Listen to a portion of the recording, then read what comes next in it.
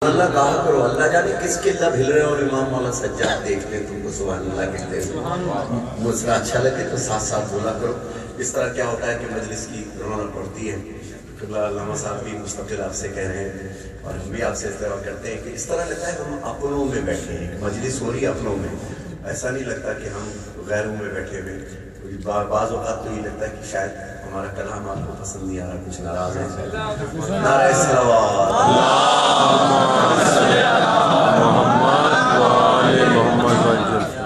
मेरा ममलिकत पाकिस्तान के अंदाज का, पंजाब के अंदाज का ख़ास नवाब। मेरे नाना का हुक्म था कि मोज़े और शेरवानी पहनना जब कभी मजलिस में जाना। मगर पाकिस्तान में आए, पंजाब का रंग इस्तेमाल किया तो एक चादर और एक शलवार सूट। बहरहाल पेश कर रहा हूँ तो सुनिएगा। रब जाने ते हुसैन जाने। रब जाने ते हुसैन जाने। तो बस मेरा रब जाने ते हुसैन जाने। रब जाने ते हुसैन साथ बोलो। रब जाने ते हुसैन जाने। रब जाने ते हुसैन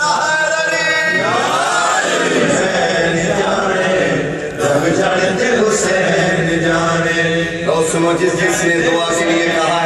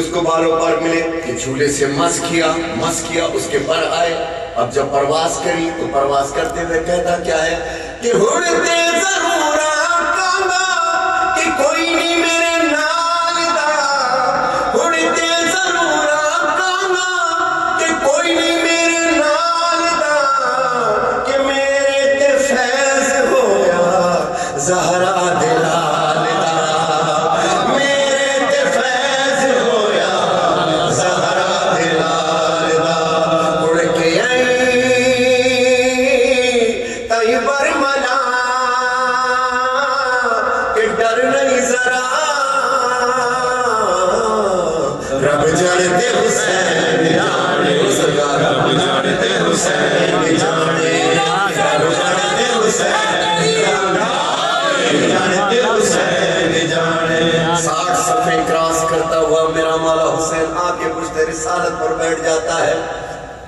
रसूल अल्लाह सरकार अल्लाह से पूछते कि सजदे से सर उठाऊं या नहीं। अल्लाह कहता है कि तेरी मर्ज़ी। लोग कहते कि सवारी का शौक था तो रास्ते में तो बहुत बड़ी बड़ी सवारियाँ थी। कहीं भी बैठ जाता। लेकिन फिर क्या हुआ? आवाज़ कुदरत शायर का ख्याल। अल्लाह कहता है, सुनिएगा।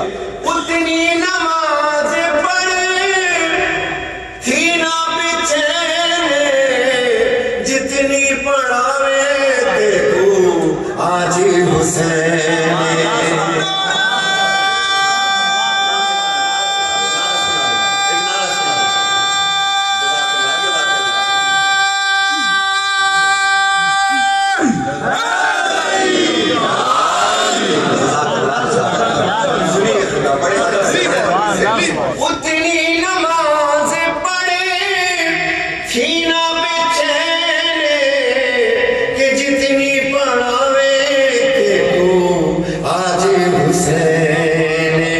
मुस्तफा सजदा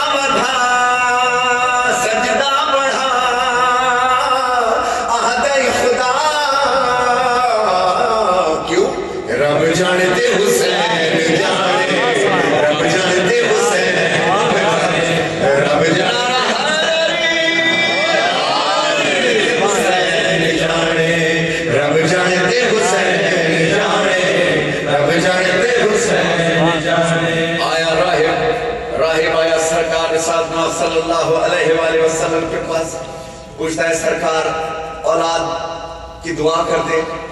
हुक्म रब आया कि इसकी नसीब में औलाद ही नहीं, रोता हुआ राहिब दरवाजे में गया कमसिन हुसैन मिल गए।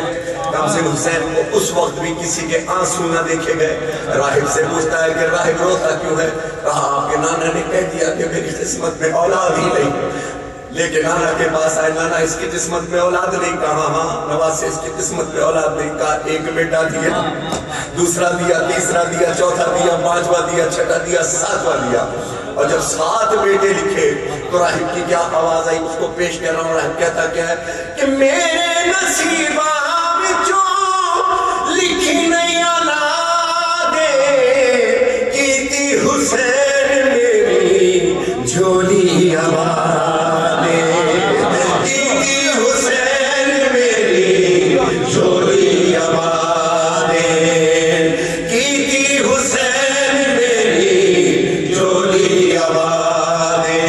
सतपुत्र दे